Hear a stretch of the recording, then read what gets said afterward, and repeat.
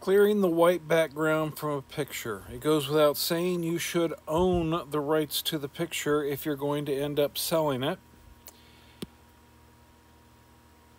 Tap on the layer and choose copy. Tap on the layer again and choose mask.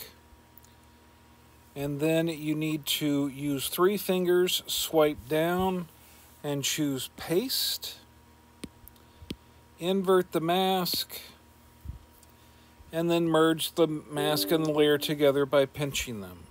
And you have cleared it out. I hope this helps you out, and I hope you have a wonderful day.